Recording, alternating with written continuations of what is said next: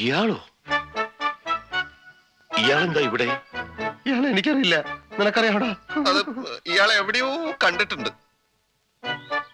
Sir inspection വരുമ്പോ ആവശ്യമില്ലാത്തവർ ഇവിടെ നിൽക്കാൻ പാടില്ല എന്ന് അറിഞ്ഞൂടെ? വഴിപോക്കർ എന്തിനാ ഇവിടെ നിൽക്കുന്നത്? പ്ലീസ് പൊതുവഴി അതാണ് പൊതുവഴി അതാണ്. അതിലേ വെക്കുള്ളൂ അതിലേ വെക്കുള്ളൂ. സാർ വലത്തുകാലം വെച്ച് ഞാൻ നേരത്തെ പറഞ്ഞ പോലെ സാർ വലത്തുകാലം വെച്ച് ഐ എസ് ഐ മാർക്ക് എവിടെ? സൂക്ഷിച്ചു നോക്ക് സാറേ അപ്പൊ കാണും. സാർ ഇത് ഡൽഹിയിൽ നിന്ന് കൊണ്ടുവന്ന ബെസ്റ്റ് സ്വിച്ചസ് ആണ് sir. I S I mark നിർബന്ധമാണ്. മോന്തയ്ക്ക് ഒന്ന് കൊടുത്തിട്ട് കണ്ണാടി എടുത്ത് കാണിച്ചു കൊടുക്കടാ അപ്പൊ കാണും മാർക്ക് ആ അതൊക്കെ പോട്ടെ. കേബിൾസ് ഒക്കെ ഏതാ? ആർമിയുടെ അല്ലേ? അതെ സാർ. ഇല്ലെങ്കിൽ നീ എന്ത് ചെയ്യും? നീ മിണ്ടരുത്.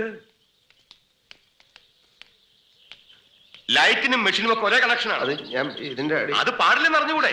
ഇത് സമ്മതിക്കില്ല. സമ്മതിച്ചില്ലെങ്കിൽ താൻ ഇവിടുന്ന് പോവില്ലേ? ഇയാൾ ആരാ? സാർ ഒരു വഴിപോക്കനാണ് അല്ല ഞാൻ അവന്റെ ചേട്ടൻ. അതെന്റെ കുറ്റമല്ല സാർ. സോറി ഞാൻ സാറ്റിസ്ഫൈഡ് അല്ല. ഇയാളുടെ കാര്യത്തിലോ വയറിങ്ങിന്റെ കാര്യത്തിലോ? രണ്ടിലും. സാർ ഉടനെ ഇതൊക്കെ ചേഞ്ച് ചെയ്യണം. സാർ അത് ഞാൻ പ്ലീസ് ഡേ ഒന്ന് പറയട്ടെ. സാർ അതായത് സാർ ഞാൻ നിക്ക് നിക്ക് നിക്ക് നിക്ക് നിക്ക്. മര്യാദയ്ക്ക് പരിശോധിച്ച് ഒപ്പിടുന്നതാണ് നല്ലത്. ചുമ്മാ. എന്തെങ്കിലും കുറ്റം കണ്ടുപിടിച്ച് തടസ്സം ഉണ്ടാക്കുക ഇവരുടെ സ്ഥിരം പണി. വഴിന്ന് മാറണം. ഇല്ലെങ്കിൽ നീ എന്നെ സസ്പെൻഡ് ചെയ്യടാ. ചേട്ടാ. പട്ടി. പറഞ്ഞേ? പട്ടി ചേട്ടാ. തെണ്ടി നായിന്റെ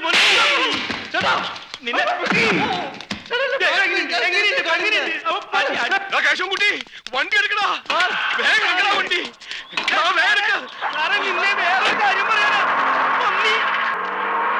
ഫാക്ടറി തുടങ്ങിയില്ലെങ്കിൽ എനിക്കൊരു പുല്ലുമില്ലടാ നീ പോടാ പട്ടി. കള്ളുടിയാ കള്ളൂടിയ നിന്റെ അച്ഛൻ. പോടാ.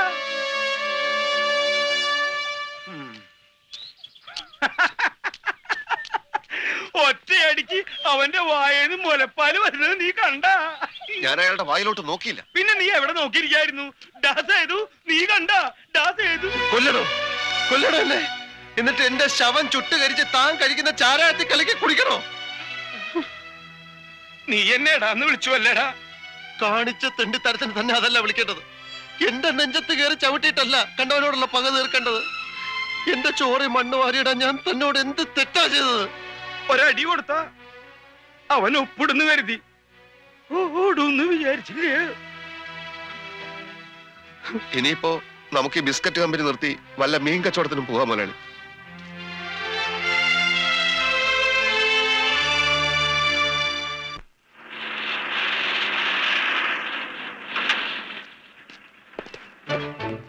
അമീശക്കാരനെ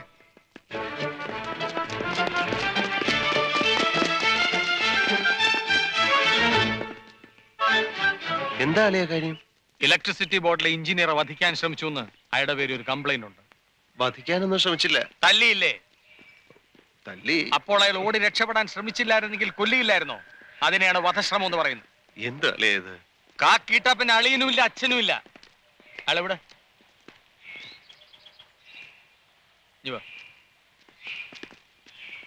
ഇതൊക്കെ ഒരു വിരട്ട് മാത്രമാണ്. ശമ്പളം വായിക്കണ്ടേ നമ്മുടെ പഴയ എഞ്ചിനീയർ ഇല്ലേ? അയാൾ. ആക്ച്വലി എന്താണ് ഉണ്ടായത്? ഗംഗമായി. ഇനി ഒരു കത്തിക്കുത്തും കൊലപാതകവും കൂടെ നടന്നു കിട്ടിയാൽ ഊച്ചാളിക്കുറുപ്പ് കലക്കും. അടി ചെയ്യും ഉപകാരം അണ്ണൻ തമ്പിയും ചെയ്യൂല എന്നൊരു ചൊല്ലുണ്ട്. പോലീസുകാരുടെ ഇടി കൊണ്ടിട്ടെങ്കിലും അവനൊന്ന് മര്യാദക്കാരനായാ മതിയായിരുന്നു ഭഗവാൻ ഞാൻ അപ്പോഴേ പറഞ്ഞതാ. അവൻ എവിടെ നിർത്തിയ കുഴപ്പമുണ്ടാക്കും അച്ഛനത് ഇങ്ങോട്ട് പറ. ദേ നിൽക്കുന്നു റെക്കമെൻഡ് ചെയ്ത ആൾ. എങ്ങനെയെങ്കിലും നന്നായി പോട്ടെ എന്ന് വെച്ച് പറഞ്ഞതാ. അല്ല നിനക്ക് ആ സുഗതനോട് പറഞ്ഞ കേസ് ഒന്ന് ഒതുക്കി തീർത്തൂടെ? അളിയനും അളിയനും വലിയ സ്നേഹമായതുകൊണ്ട് പറഞ്ഞ ഉടനെ ഞാൻ കേൾക്കും.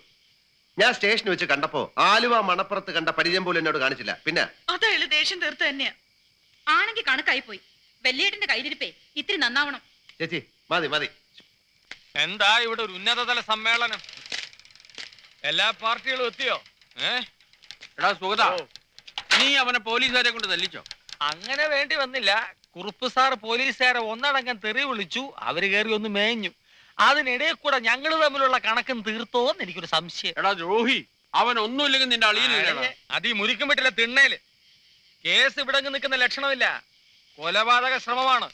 ആ എഞ്ചിനീയറെ വിളിച്ചു വരുത്തി വാടക കൊണ്ടേ കൊണ്ട് കൊല്ലിക്കാൻ ശ്രമിച്ചതിന് ഡേയ് നിന്റെ പേരിലുണ്ട് കേസ്. അയ്യോ ഞാൻ ഞാൻ ഇനിയൊന്നും പറഞ്ഞിട്ട് കാര്യമില്ല. നിന്നെ ഞാൻ വിടാം. പക്ഷെ മിനിമം ആറു വർഷം അവൻ അകത്ത് കിടക്കും. അത് കണ്ടിട്ട് വേണം എനിക്കിവിടെ സ്വസ്ഥമായിട്ട് ജീവിക്കാൻ. സുഗത വീട്ടിലെ വൈരാഗ്യം പുറത്ത് കാണിക്കരുത്. അത് പറഞ്ഞു തീർക്കാവുന്നതല്ലേ ഉള്ളൂ. സത്യവിരുദ്ധമായി ഞാൻ ഒന്നും ഇതുവരെ ചെയ്ത് ശീലിച്ചിട്ടില്ല അമ്മവ. താൻ ആരാ? ഹരിചന്ദ്രൻ. അല്ല ദേവേന്ദ്രന്റെ അച്ഛൻ മുത്തുപടർ താൻ വലിയ വർത്തമാനൊന്നും പറയണ്ട. ഈ രാജ്യത്ത് എന്തെങ്കിലും പ്രശ്നം ഉണ്ടായത് ഞങ്ങൾ തീർത്തോളാം.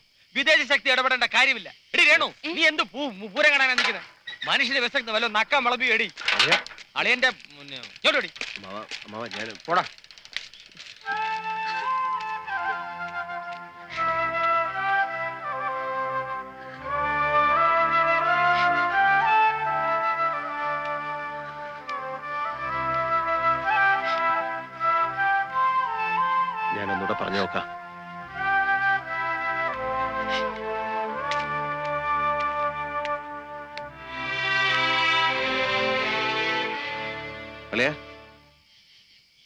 അളിയ? ആ. എടി കുറച്ച് വെള്ളം തിളപ്പിക്കേ. കൈക്കൊക്കെ വല്ലാത്ത കഴപ്പ് ചൂട് പിടിക്കണം. ഈ കൈ കൊണ്ടുന്നോ ഒത്തിരി പണിഞ്ഞതാ. എന്താ? സംഗതി വെറുതെ വഷളാക്കരുത്. ഉം. ഒന്നുമില്ലേലും നമ്മളൊക്കെ ഒരു കുടുംബമല്ലേ? ആ വിചാരം എല്ലാവർക്കും ഉണ്ടാവണം. മറ്റൊന്നും വേണ്ട. ജാമ്യം. Day, day, day, day. കൊലപാതകത്തിന് ഉപയോഗിക്കാൻ ഉദ്ദേശിച്ച മാരകായുധം കണ്ടെടുക്കാതെ ജാമ്യം കിട്ടില്ല അങ്ങനെ ഒന്നുമില്ലല്ലോ. തെളിവ് ഞങ്ങൾ ഉണ്ടാക്കുവളിയാ നീ പോ. ഉപദ്രവിക്കരുത്. വന്നേ നീ വന്നേ. അത് അളിയനും അളിയനും എന്നുള്ളത് നമുക്ക് വിടാം. മറ്റൊന്നും വിചാരിക്കരുത്. അളിയന് പണത്തിന്റെ ബുദ്ധിമുട്ടുണ്ടെന്ന് എനിക്കറിയാം. സംഗതി എങ്ങനെയെങ്കിലും ഒന്ന് ഒതുക്കി തീർക്കണം. ഇപ്പൊ എന്റെ കയ്യിൽ ഇത്രയേ ഉള്ളൂ. പത്തറുന്നൂറ് രൂപ കാണും. അതും നിനക്ക് ഡൗട്ടാ അറുന്നൂറ് രൂപ. നാണമില്ലല്ലോടാ നിനക്ക്. നാണവും മാനവും ഒക്കെ വിറ്റതിന്റെ ബാക്കിയാ. എനിക്ക് നിന്റെ ഈ നക്കാപ്പിച്ചൊന്നും വേണ്ട. ഇങ്ങനെ വല്ലതും ചെയ്യാൻ ഉദ്ദേശം ഉണ്ടെങ്കിൽ വീടിന്റെ ഈ ഭാവം എഴുതി തരാൻ പറ. അളിയ അത് ആശയ്ക്കുള്ളതല്ലേ? എടേ, എടേ, വീണ്ടും നീ പഴയ പല്ലവി എന്നെ കൊണ്ട് പാടിക്കണ്ട. ഞാൻ പറയാനുള്ള പറഞ്ഞു സൗകര്യം ഉണ്ടേ ചെയ് ഇല്ലേ അകത്ത് കിടക്കട്ടെ. വെള്ളം തിളച്ചോടി.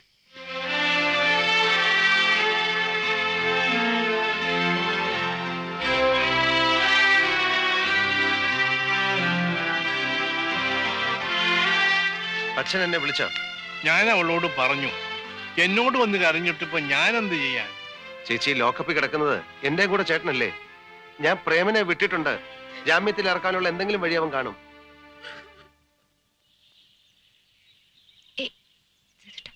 രണ്ടു ദിവസത്തിനകം അവർ ആശയെ കാണാൻ വരും. ആ. പെണ്ണിന്റെ മൂത്ത ചേട്ടൻ ലാക്കപ്പിൽ കിടക്കുന്നു എന്ന് അറിഞ്ഞാൽ എന്റെ മക്കൾ ഇങ്ങനെയൊക്കെ ആകുമെന്ന് ഞാൻ കരുതിയില്ല. അച്ഛാ അതിനിപ്പോ ഒന്നും ആയില്ലല്ലോ. ആശയുടെ കാര്യം എനിക്ക് വിട്ടേക്കൂ. മുതലാളി. ദേ പ്രേമം വന്നു. ഞാനിപ്പോ വരാം. എന്തായി? മൂസക്കുട്ടി ആ ജെസ്സിയോട് പറഞ്ഞിട്ടുണ്ട്. അങ്ങേര് വീട്ടിൽ നിന്ന് ഇറങ്ങുന്നതിന് മുമ്പ് ചെന്ന് കാണണം. മുതലാളി വന്നാട്ടെ. പറ്റില്ല ഇപ്പൊ തന്നെ നമുക്ക് ജാമ്യം എടുക്കാം.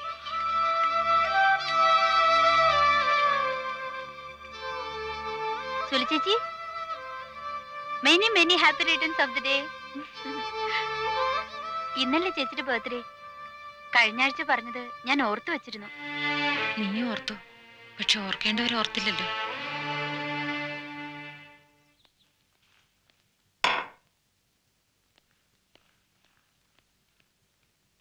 Sir S I sir. ഞാൻ കുറച്ചു നേരം എവിടെയാണ് സാറ് സിഗരറ്റ് ചുണ്ടത്ത് വെച്ച് തിപ്പട്ടിക്ക് വേണ്ടി തപ്പിയപ്പോ ഉറങ്ങിപ്പോയി. ഞാൻ ഇനിയും കുടിക്കും. പക്ഷേ താനൊരു കമ്പനി തരുന്നില്ലല്ലോ. അയ്യോ സാറിന്റെ കൂടെ ഒക്കെ ഇരുന്ന് ഞാൻ ഞാൻ പിന്നെ ധാരാളം ഭക്ഷണം കഴിച്ചല്ലോ. Ice cream sir okay.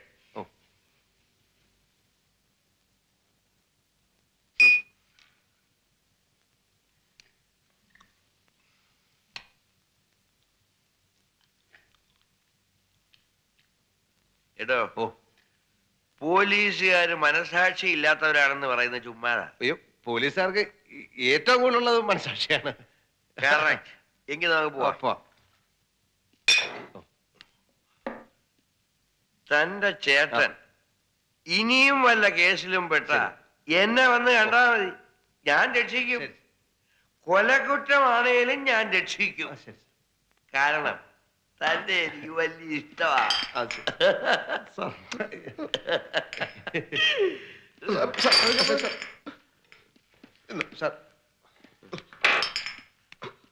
പിടിച്ചോ.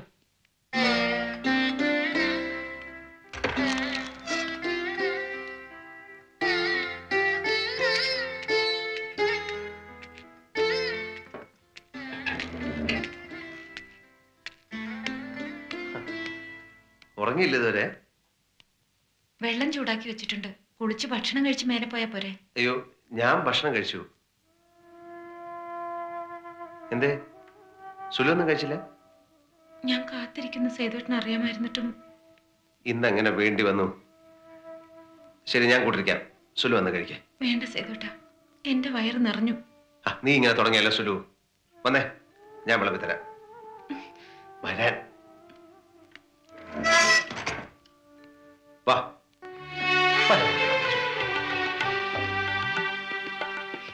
ഇരിക്കേ. ഇരിക്കേ. ഞാൻ വിളമ്പി തരാം. വേണ്ട. ഇങ്ങനെയൊന്നും അല്ല ഞാൻ വിചാരിച്ചിരുന്നത്. എങ്ങനെയൊന്നുമല്ല? ഏട്ടനെല്ലാം മറന്നോ? എന്ന് പറഞ്ഞ നീ എന്താ ഉദ്ദേശിക്കുന്നത് കാലത്ത് ഞാൻ വിളിച്ചിട്ട് സേതുവേട്ടൻ എന്നെ മൈൻഡ് ചെയ്തില്ല. നിനക്ക് ഇവിടുത്തെ പ്രശ്നങ്ങൾ അറിയില്ലേ സുലു? ഉവ് പ്രശ്നങ്ങൾ ഉണ്ടാക്കാത്തത് എന്റെ കുറ്റം. ഏട്ടൻ അറിയില്ല ഇന്നത്തെ ദിവസത്തെ പറ്റി ഇല്ല. ഈ ദിവസത്തിന്റെ ഭയങ്കര പ്രത്യേകത ഒന്ന് പറ. മറന്നാളെ ഞാൻ എന്തിനെ ഓർമ്മിപ്പിക്കണം നീ ഒരുമാതിരി വക്കീലന്മാരെ പോലെ സംസാരിക്കരുത് കേട്ടോ. ഇന്നെന്താ? ആ യെസ് എസ് ഓർമ്മ വന്നു. ഇന്ന് ഇന്ത്യൻ റിപ്പബ്ലിക് ഡേ അല്ലേ? അല്ല ഇന്ന് ഇവിടുത്തെ തെങ്ങിന് കുഴി വെട്ടിയ ദിവസം. എന്നെ എന്നെ കൂടെ കുഴിയിട്ട മൂട്. ഇതിലും ഭേദം അതാ. സേതുവേട്ടൻ ജനിച്ചന്ന് മുതലുള്ള ഓരോ കാര്യങ്ങളും ദാ ഇവിടെ ഉണ്ട്. എന്റെ മനസ്സിനകത്ത്. പണ്ടൊക്കെ സേതുവേട്ടനും അങ്ങനെ തന്നെയായിരുന്നു. എന്റെ കാര്യങ്ങൾ എന്നെക്കാൾ ഓർമ്മിച്ചിരുന്നത് സേതുവേട്ടനായിരുന്നില്ലേ ഇവിടിപ്പ എന്തുണ്ടായെന്ന നീ പറയുന്നത് എനിക്ക് നല്ല വിഷമമുണ്ട് സേതുട്ട സാധാരണ രാത്രിയിലെങ്കിലും ഒരുമിച്ചിരുന്ന് വല്ലതും കഴിക്കുന്നതാ. ഇന്നെന്റെ പിറന്നാളാന്ന് ഓർമ്മിച്ചതുമില്ല. പുറത്തുനിന്ന് വയറ് നിറച്ച് കഴിക്കുകയും ചെയ്തു.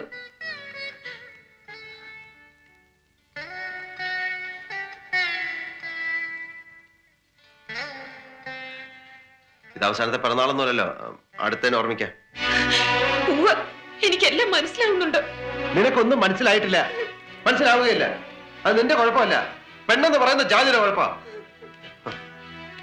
പുറത്ത് വെച്ച് ആകാശം ഇടിഞ്ഞ് തല വീണാലും സഹിക്കാം.